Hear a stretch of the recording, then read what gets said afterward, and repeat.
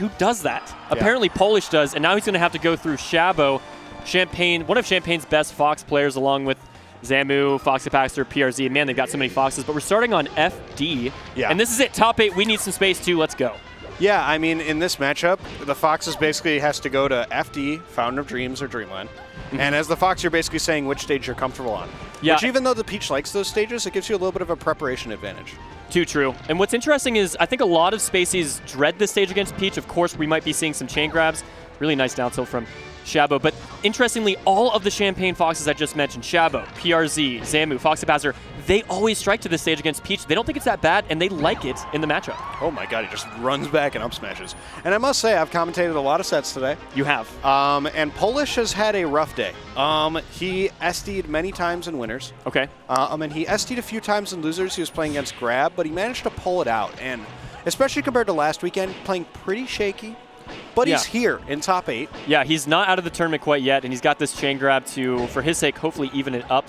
Shabo will get at least a Oh. little more neutral interactions with this stock before going down. Nice DI. Polish was able to make it to snipe. winners quarters of this before losing to Vista. Vista's on quite a tear. Vista Yeah. actually beat myself in pools, Luigi Gauchard, and Polish in a game five set to get to winners semis. Yeah, he's on a run. Um, I'd only seen him at House of Pain, but he's Mm-hmm. in winner's side top eight. Yeah, this is arguably his best performance that we've seen, so I'm interested to see how he's going to be able to do against Drephen in winners, but we are, of course, going to start here in losers. Really tight game one between these guys so far. Yeah, Polish super consistent on the chain grab. We should also mention we are on UCF, which means these dash back grabs are free, which means Shabo consistently DIing behind like that. Not a good idea. We need to be taking ourselves to the center of the stage and getting hit as little far, as not far as possible. Couldn't agree more. Struggling over here. Ooh, that's the second. Okay, so no DI in the up throw many times by Polish, but he's mm-hmm. getting the SDI. and that's what really matters at the end Yeah. of the day. At this point, though, maybe 10, 15 more percent, even back air will do it. That barely won't, but Get next one will. I'm getting off the mic. See you guys later. And another one, Dude, sending him back Polish towards center. With the DI.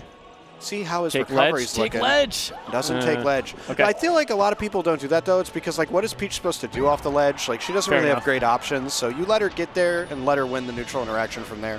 Too true. And just as you say that, evened it back up. Yeah. Two stocks apiece. Oh. He's off stage though. Okay, he barely gets back to the ledge. Huge for Shabo. That could have been his entire stock.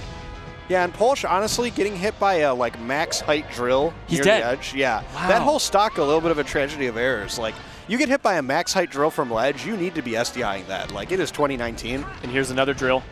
So much damage. And this is what the Fox mains love on this stage. Oh, that down tilt. The ones from Champaign. They love juggling Peach, just sharking her from beneath when she's trying to land. She has no platforms, of course. Okay, getting another chain grab. Shabo mashing for his life. You can see the buttons being pressed on the right side of the screen. Though wobbling is banned at this event, these chain grabs surely aren't. For sure.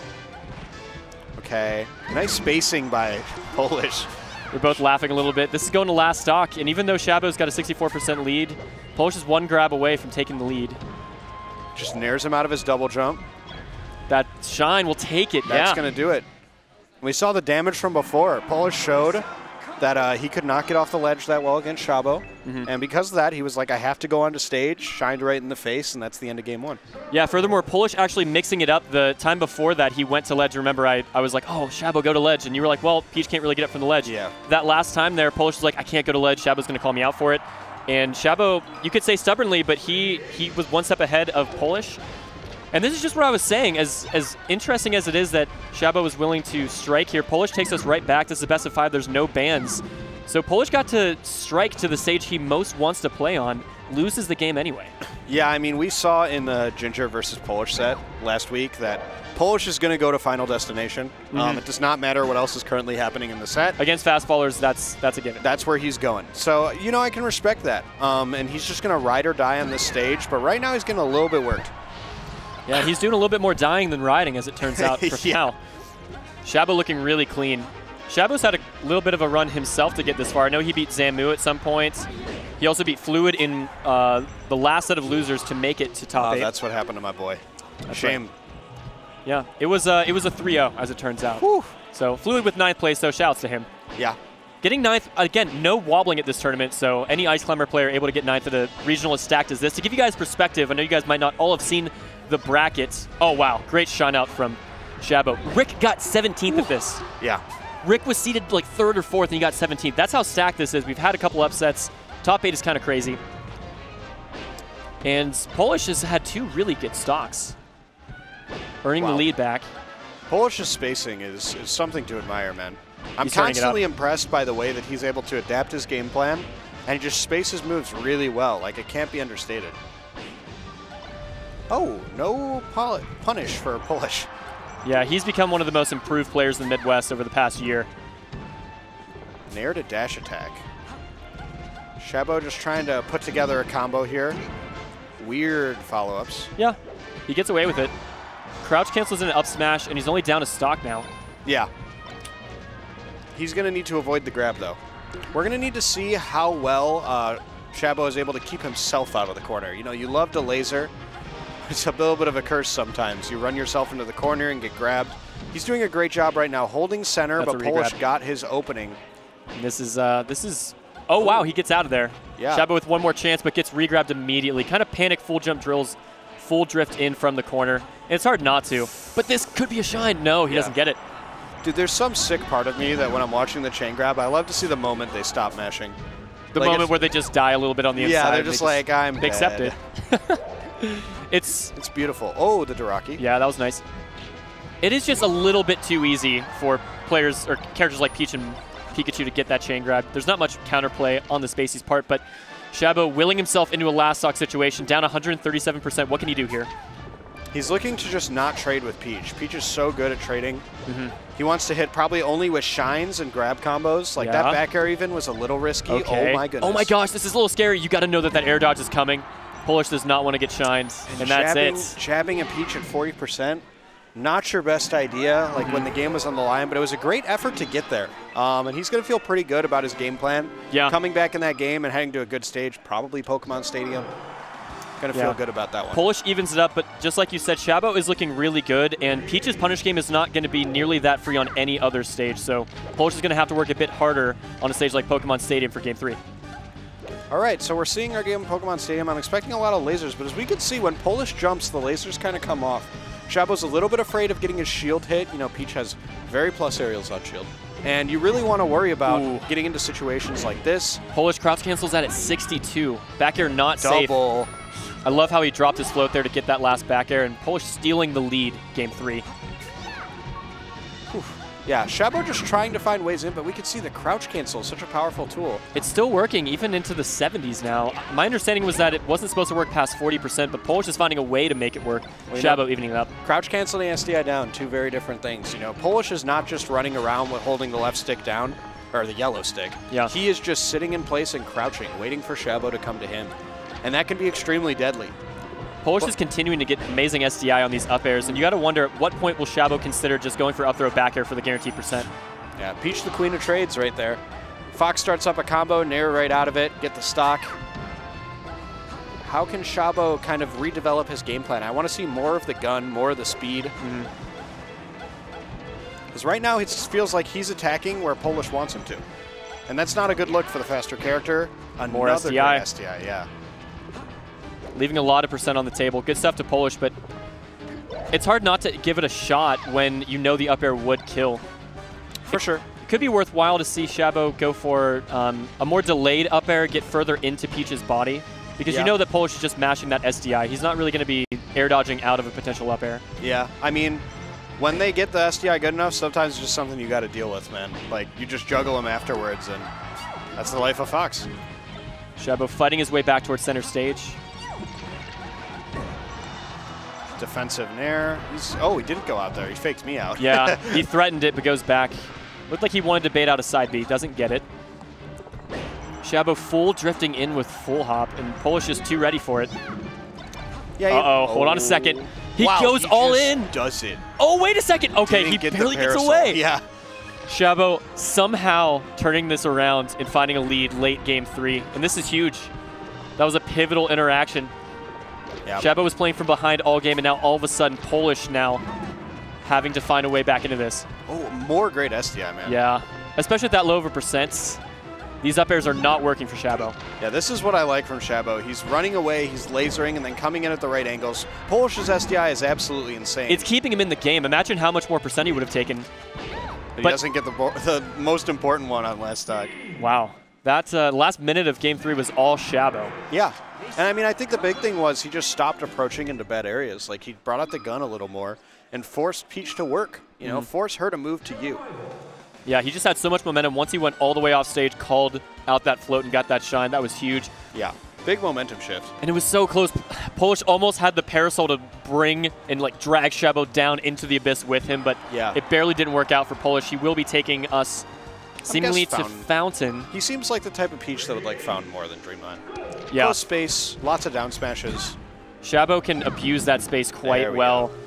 Polish wants to force these interactions.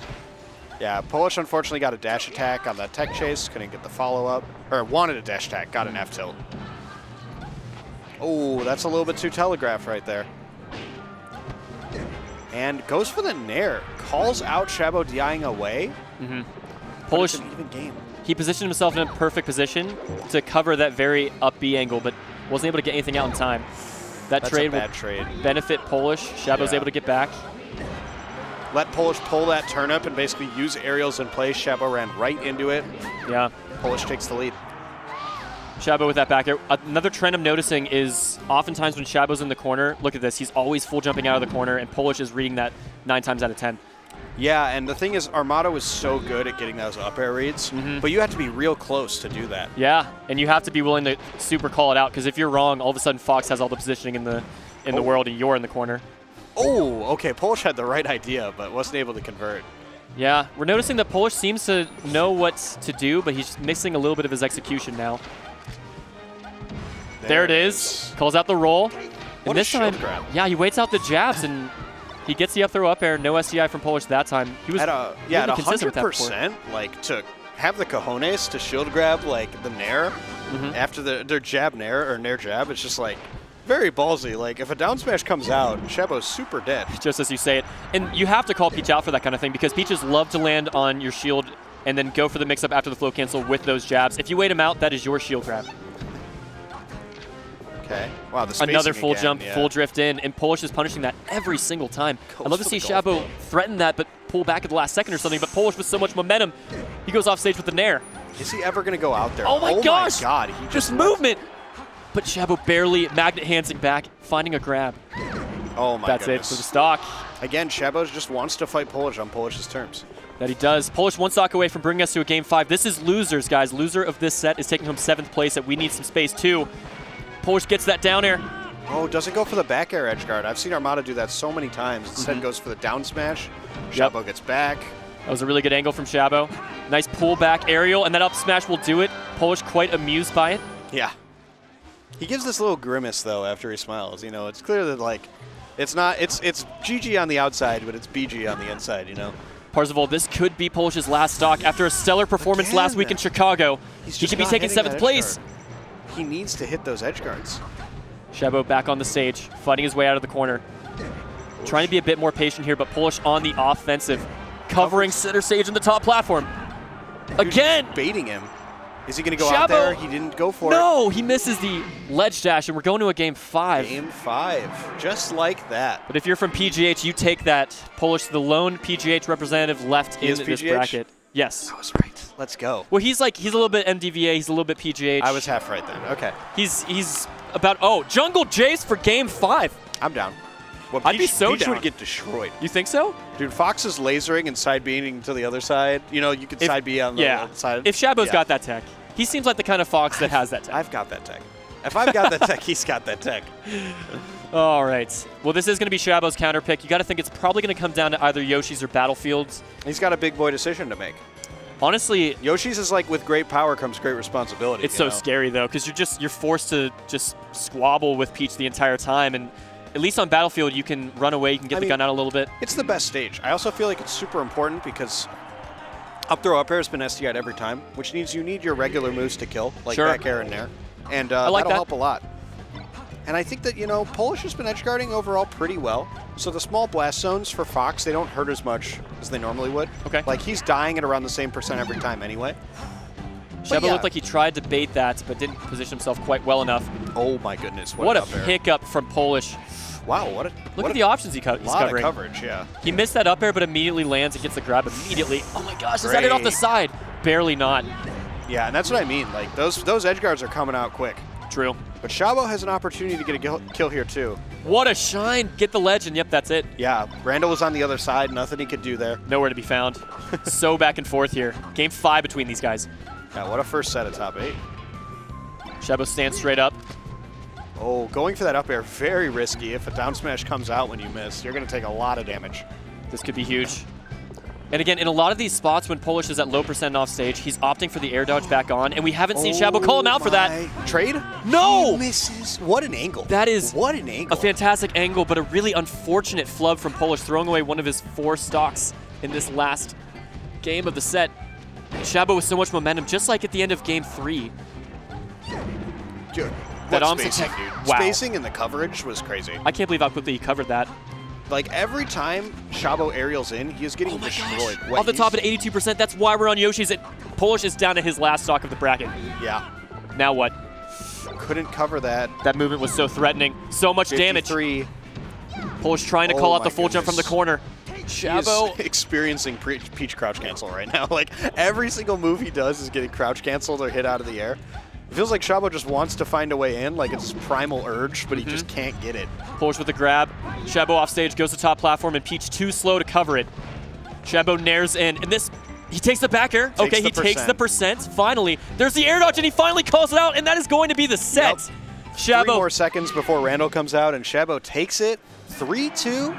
Every single Shabo set I commentate is like a Cobalt set. It's extremely stressful. Yes. But he gets the job done. man, that was incredibly stressful, but amazing adaptation from him taking the back air percent and waiting out that air dodge finally for the first time in the set and sealing the set with a shine. Good stuff to Shabo. Yeah. Polish had an incredible run this tournament and last week in Chicago, but that will end today. Seventh place. Still I very will say, I, we definitely saw Polish's like B or C game, and uh, he still played placed placed very admirably. Yeah. there are a lot of good players at this tournament who did not make top eight. It's rough because you have like arguably the best tournament run of your career, at least up there, like top two, top three performances that we've seen from Polish. And it's hard because you, you might have these newer expectations, but it's it's nearly impossible to replicate your S game at any given events. But Polish still very respectable seventh place. Again, we had 150 entrants here, and a ton of killers didn't even make it nearly this far. Oh, for, yeah. For instance, Travioli, amazing player. Uh, he got um, I think 13th at this.